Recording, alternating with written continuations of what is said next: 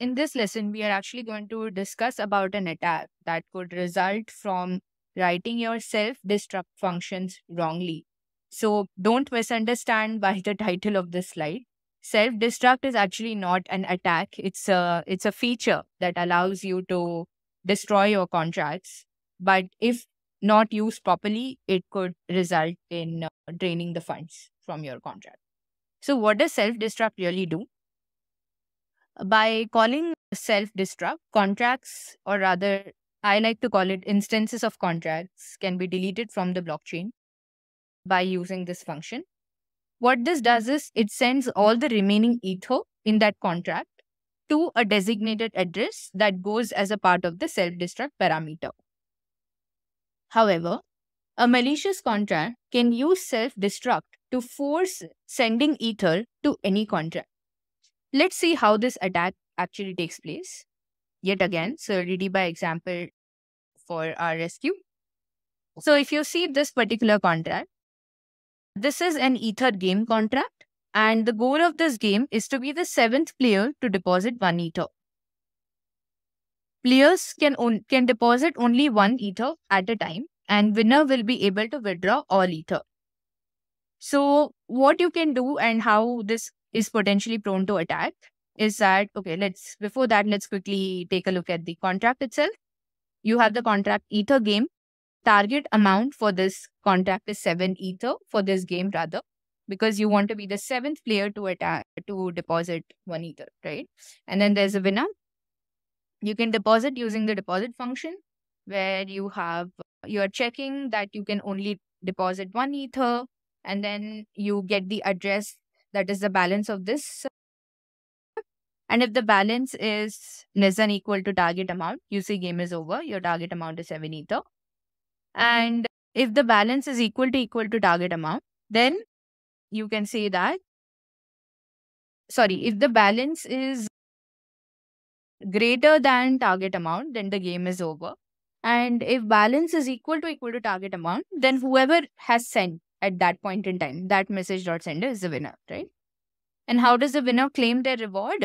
If the winner is the message dot sender, then you send the value you send to that particular message dot sender this value which is nothing but the balance of the contract so you're saying address of this dot balance which should ideally give you the balance of the contract and then when the, it is true then you say okay if it is false you say it's failed to send ether right now how can we attack this particular contract once you deploy the ether game right and say alice and bob decide to play they deposit one, e- one ether each right now you can deploy an attack contract with the Ether game address, right? And how do you call this attack is you call the attack dot attack by sending five Ether. This will break the game and no one can become the winner, right? Now, okay, so how what happens in the attack is mm-hmm. that attack force the balance of Ether game to be equal to 7 Ether. Once the balance is actually greater than your target amount, right? Then the game is over. And the balance never reaches target amount in this case. And so you are unable to set the message dot sender. So why does the balance not reach the target amount? Let's take a look. Now, when you're calling this particular attack function from this uh, attack contract, what you're saying is that you are casting the address to payable basically, and you're just calling self destruct of this particular address, right? So what you are actually doing is when you are destructing this particular contract, right? You are sending, you are calling self-destruct of this contract, that is your attack contract, and you are sending your whatever your five ether to this particular contract, right? To this particular mm-hmm. contract. But you are actually not calling the deposit function. So there is no way that your ether is reaching here, right?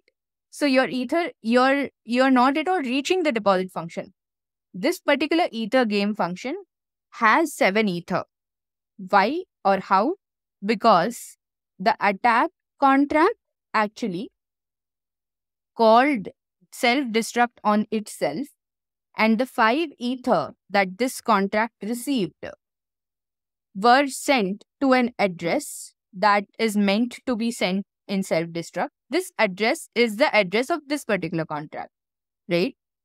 And 5 ether was sent to this. Earlier 2 ether have already been sent to this by Alice and Bob who started playing this game. So now this has 7 ether. Now this already has 7 ether, but the balance of this, the, you know, target amount will be obviously it's 7 ether. So it is equal to target amount. So the game is over.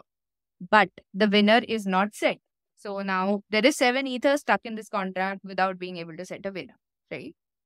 Now there nobody will be able to claim the reward because there is no winner that is set. So what is one of the preventative ways to overcome this contract, to overcome these kind of attacks, is to constantly keep updating your balance as per the payable amount that you get in this function, right? Now here we are using this global variable called address of this dot balance. This is trying to get the address of this contract, but we are not keeping the track of how much money was sent to this particular function, which is associated with the game. So if anyone tries to send any funds to this particular contract, the balance will obviously increase. But they may try to be, they may try to manipulate this contract just like this using self-destruct, right? However, it is best practices to track the balance of that particular functions, those particular functions, which you are using for creating logic. Here, your entire logic is dependent on this particular balance amount, right? And every time you try to get the balance of this contract, people who are trying to manipulate this contract will be able to manipulate the balance by sending unnecessary ether to this particular contract. So this is one of the ways to work around this. In your Solidity, by example, there is a workaround example as well, which I would like you to try and then post your solution to your peers on Discord and then discuss why this is a fix and how it fixes this problem.